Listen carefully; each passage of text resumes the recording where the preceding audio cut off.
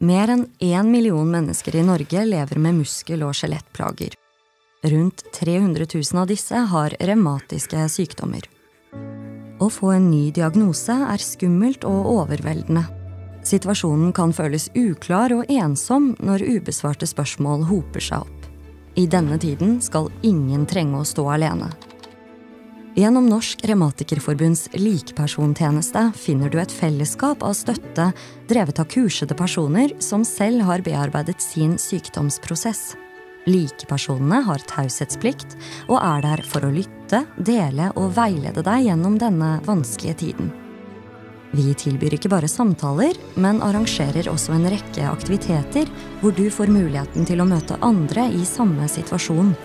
Norsk Revmatikerforbund jobber for å gi deg et bedre liv med muskel- og skjelettplager.